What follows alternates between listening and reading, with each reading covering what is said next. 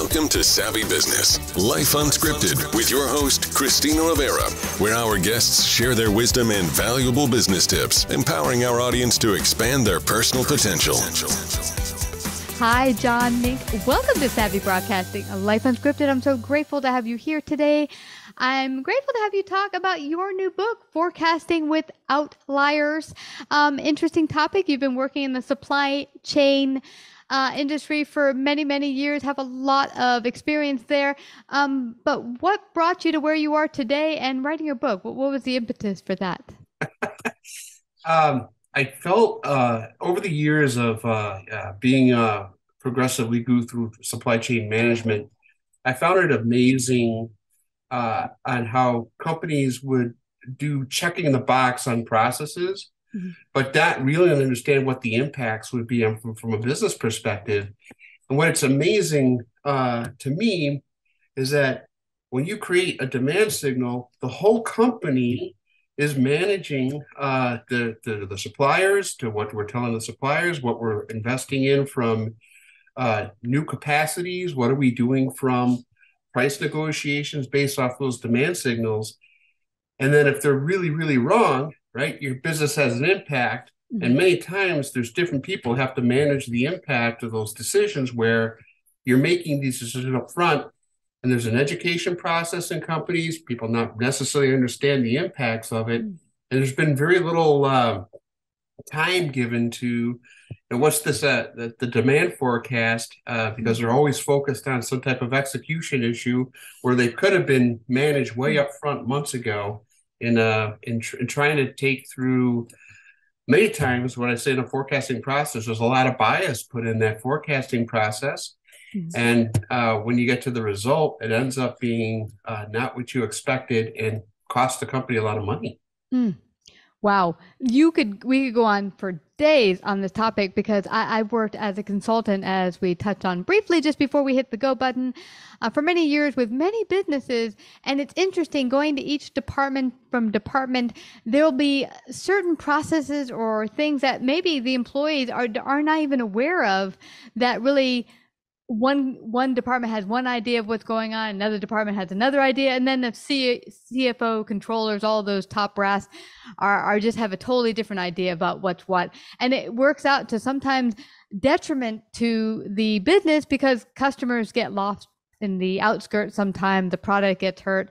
Um, what have you found that can really bring people onto the same page? Because i find that that's often what's happening. A lot of these big corporations and specifically have everyone working on different platforms.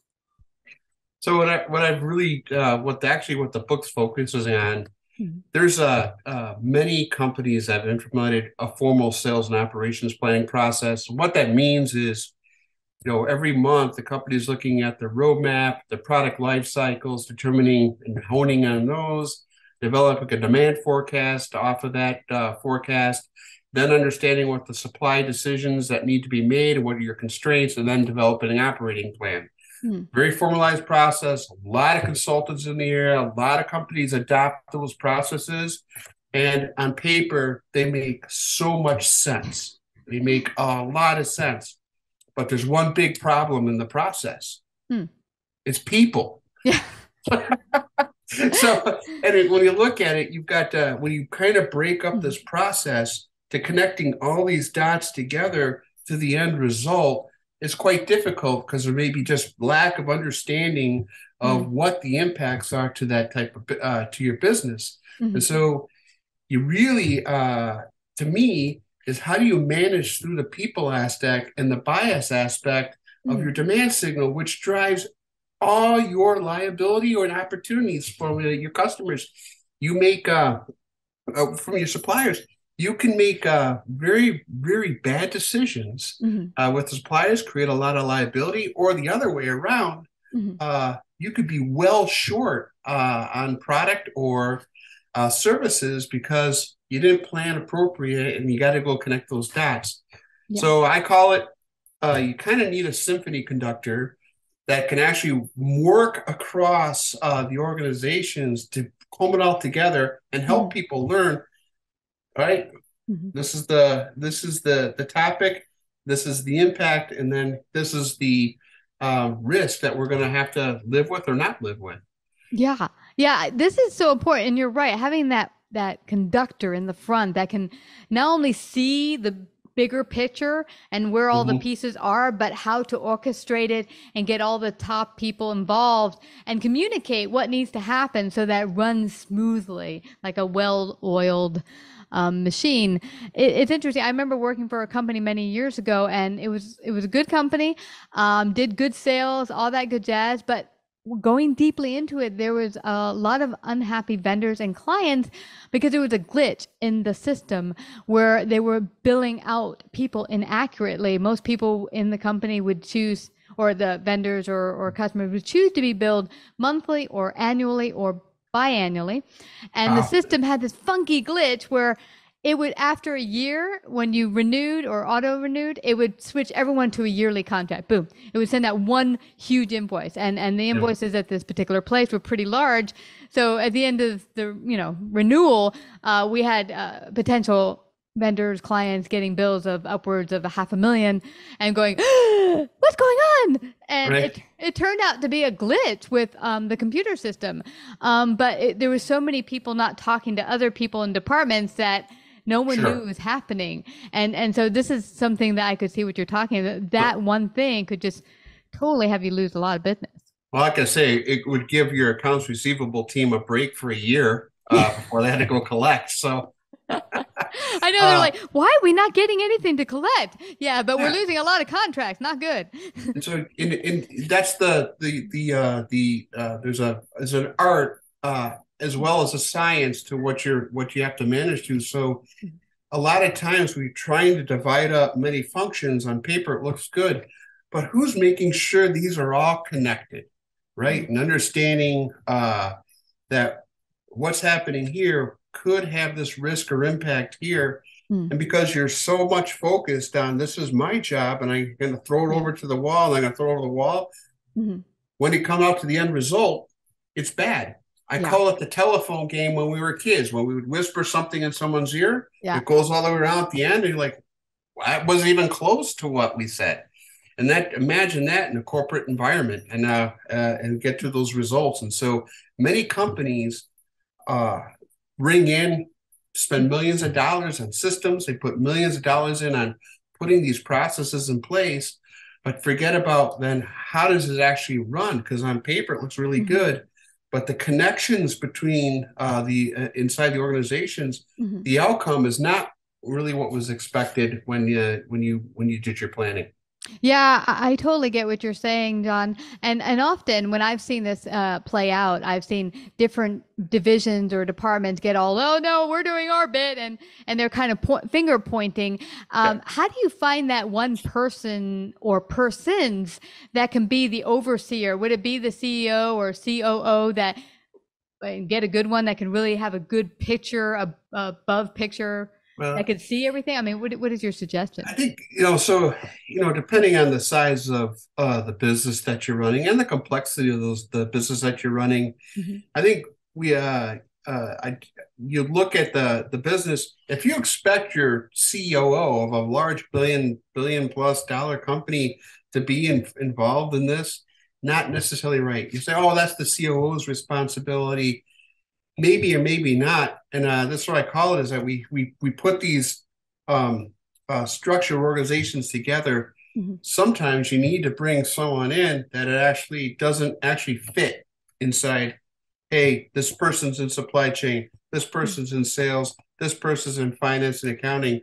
That you bring someone else that's like, hey, you know what? You're gonna rise above all the functions and making mm. sure these are connected. And I've been with companies where it has been uh, uh, quite successful. Uh, a lot of it is just being an enabling uh, the individual or individuals on the team to actually work cross functionally, understand, and then learn and say, hey, how can we improve our business?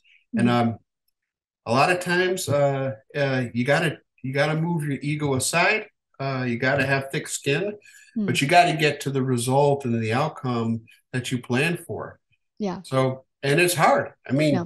Yeah. imagine having a VP saying, "This is the demand. This is going to run," even though all the indicators are all the indicators are this is not uh, this is a pipe dream, but mm. we put that pipe dream through. Guess what? The liability is could be really severe. Yeah, yeah. Well, I like that you mentioned having a third party step in because I've been in, in some corporation for many years. And when you work day to day in a certain situation, sometimes you can't see the forest from the trees. You Absolutely. think, oh, yeah.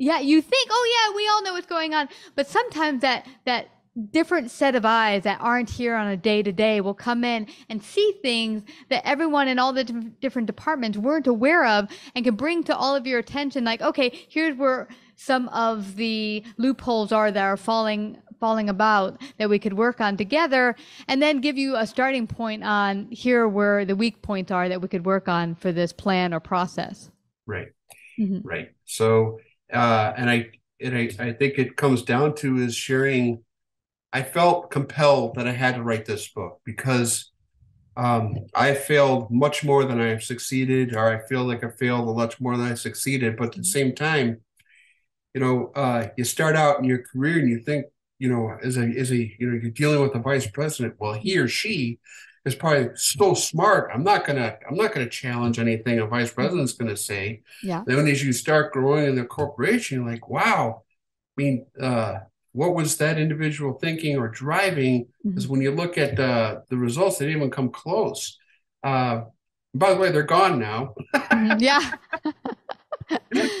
we brought another one in, and uh, but the business suffered mm-hmm. you know the business suffered from it and so it, it comes down to is how do you simplify uh, pieces in your business you can focus on everything but how do you bring your business say hey what are the key decisions that we need to make mm-hmm. understanding what are the consequences if it doesn't come to fruition even a backup plan if uh, a backup plan if the the results don't the uh, your plan does not meet uh, reality what are the plans there mm-hmm. but really tying the organization together at risk as human beings. Mm. We're just looking to, it's okay. If you're always looking, it's okay to blame.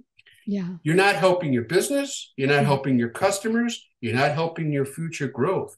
Yeah. And uh, you will find in all companies, there's a lot of blame because of not of understanding mm. versus, hey, as an organization, how do we make sure we achieve the best outcome possible? Yeah. Uh, and it's really, really tough to do because we're dealing with humans. Yeah, I, I, like that you bring the human element into it because people are people. And, you know, when you've been uh, at some of the companies I've gone to work at, even as a consultant, there's some people that have been at the company for years. And when sure. there's changes made, people begin to fret as my position on the line. Could I be let go? Because a lot of times uh, processes make it so that jobs streamline and people feel like, well, maybe you won't need me. Uh, one, one particular company had hired me, uh, had zero AR our kind of process in place. And we're kind of just taking orders whenever, uh, weren't really having any contracts or anything like that. And I was like, whoa, we really need to work on that. Um, but what was when I came on board and put through, okay, here's what I think we should do, the sales department was like, whoa, we're going to lose all our sales. People aren't used to having to do credit checks and stuff like that. Um, but you know, it's having, yeah, I know. They were like, wait a second. I was but, like, it's Go. risk mitigation, right? And yeah. it's uh exactly. But it was having that conversation with them to say, no, we get you. We're going to have the financial talk here in finance. We're not going to let you do that because you just yeah. give them the paperwork. They'll talk to us about, you know, going through all the financial work because that's not your lingo. Um, but, you know, I, I, would tell them, hey, when you go to the store and, and get, like, say, a lease for a car, um, you don't expect they'll just let you walk out without checking your credit, right? Well, the same goes for our hundred or two hundred thousand dollar products uh, we have to make sure they can end up paying right. for it at the end of the day. And it's a good an example of that's putting the cart before the horse. You got to put the horse in front of the cart before yeah. uh, you, you invest in those opportunities. Absolutely. Yeah, absolutely. Well, I love this. Now, let's say there's a new business owner listening in. He doesn't really have much of a process going on, and things have been a little lackadaisical. And he's like, where do I even begin to get good operations in my company going? How do I begin to even approach that? Yeah, that's a good question, and it, and again, you know, it comes to a matter matter of what the business is really suffering from and needing. Mm-hmm. But uh, I would say, first off, I'm a big believer in a formalized sales and operations planning process. And again, that's demand all the way through execution, and then keep working that and learn from it. Mm-hmm. Uh, I am a huge believer in the process. And so to me, is uh, looking at what are our biggest pain points and mm-hmm. can a, a formal sales nation process at least help help those pain points. Yeah. But then uh, so really is you start with, hey, what are my biggest pain points? I'm bleeding too much inventory. I'm bleeding too much excess and obsolescence. Uh, my biggest pain points is that I'm losing customers because my mm-hmm. service levels are bad. Why? Mm-hmm. Back it up and say, hey, what actually are my biggest pain points? And can a sales and operations planning help? Or it could be something that, hey, you could do something smaller, um, not put a whole formal sales and operation planning in, but what's that pain point? Why is it there? I understand mm-hmm. the whys and back up to say, hey, is there a potential solution? Like an example would be mm-hmm. a lot of companies say, yeah, sales and sales and operations planning is the holy grail. Mm-hmm. No, all you need to know is where your inventory is at your customer level, and it's pretty easy to get. Mm-hmm. And that actually could solve a pain point because that can anticipate, you know, how well your sales are stacking up or, or your customers' inventories are stacking up.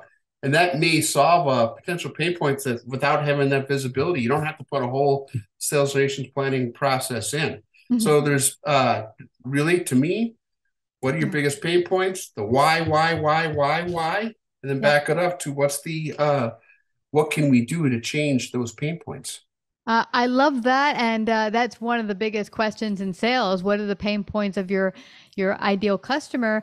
Um, you know you're here to help them but one thing i'll add that i think is really important and often missed in many corporations is really having that communication with the people in the front lines aka your employees um, because mm-hmm. often they'll have the answers to these questions and to really be open uh, to them what, what, what, are you laughing i'm curious i, I you, you say that it's amazing uh it, you know i the company i'm with it's been 18 months there Mm-hmm. And the usual go in, you run the supply chain. Every company say the same thing. We got the worst supply chain on the planet. It's awful. It's terrible. The people stink. Blah, blah, blah, right?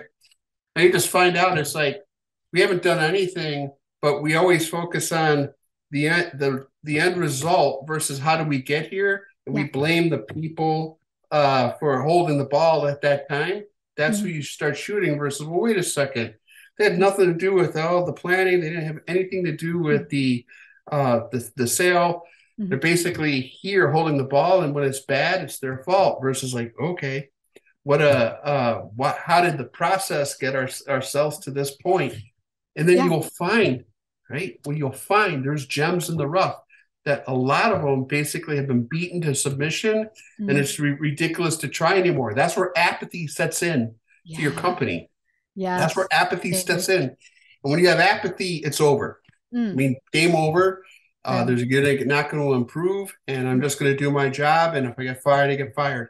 That's the worst thing uh, you can allow in your company is apathy. And what I find is you find so many gems that have never been a chance to uh, mm. provide input or shine or actually feel important.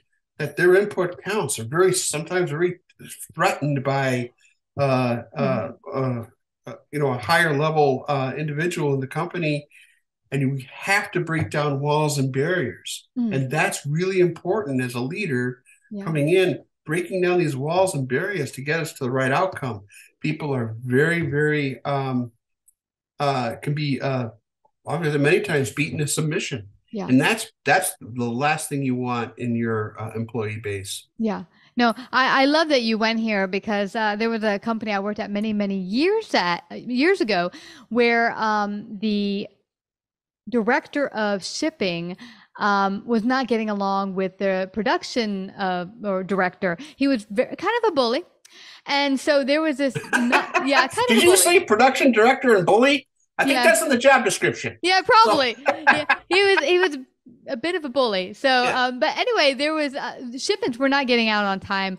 Uh, we weren't getting our bills out. It was a whole mess. But the shipping guy was was a superstar. He was really, really trying to get things out on time.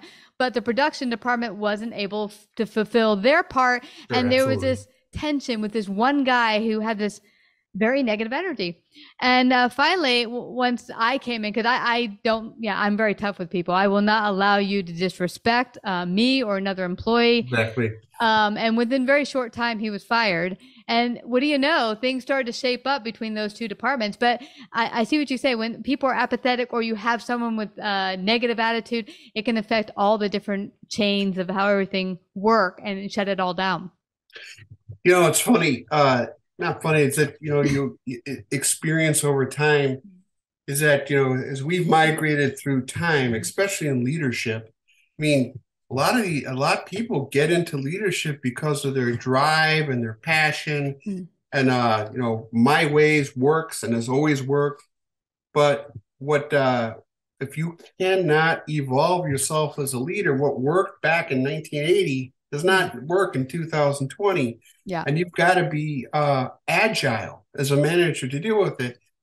You know, I will talk to a boomer or a Gen Gen uh, Xer, very mm-hmm. different than how you start working with a millennial, uh, Gen Z in the workforce. And by the way, very, very bright, very, very bright. Mm-hmm. Nuances. They can run Excel like no one's business, but yeah but you've got to be able to be uh, you got to be agile as a leader to go help manage through it just because it worked in the past mm. you can never rely on that is uh that's going to work in the future and think of all the turnovers companies are going through yeah.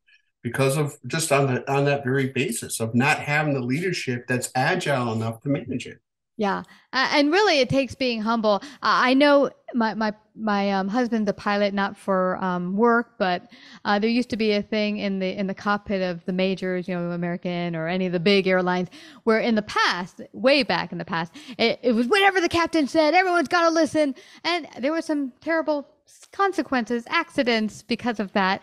And mm-hmm. they, they made a rule that said, no, no, no, everyone on the team, everyone in the, you know, who's working in the front uh, has a say and the captain has the final say, but everyone gets to speak their, their mind. It's not mm-hmm. let, let the ship go down because we're going to just listen to the captain. And uh, so that same idea has to come to offices that you're like, you know, ruling over people. You really have to work with your people together and uh, lead them. Yes. Yeah. Yeah. So, well, you know what? I, we could go on for hours with your book, but I don't want us to leave without everyone finding out how they can get their very own copy of Forecasting with Out-liars. How can they do that? Uh, they go uh, really easily. It's on most online bookstores around the world. Uh, you can go on Amazon, you can go to BAM, you can go uh, Target.com. There's online bookstores everywhere.